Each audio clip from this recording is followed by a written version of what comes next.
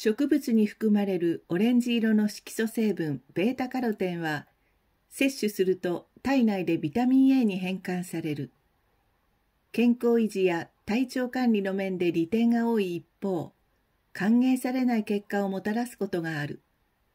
人間ではなく肉牛の話だが。口どけや食味の良さに関わる霜降りができにくく、油が黄色っぽくなる短所があるのだそうだ。ベータカロテンを多く含む白用トウモロコシが肉牛には向かないとされる理由である。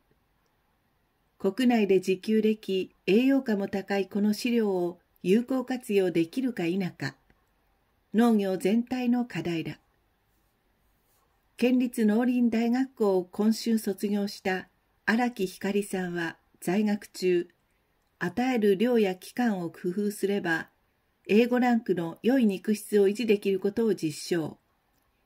肥育コストの低減効果も確認し、全国農業大学校等プロジェクト発表会で最優秀賞に輝いた。研究成果は構築連携の新たな道にもつながろう。付加価値の高い山形牛の生産に貢献したい。荒木さんは今月からふるさとの西川町で肉牛の肥育に携わる。彼女をはじめ生産者の日々の研鑽と努力で日本の食は支えられている。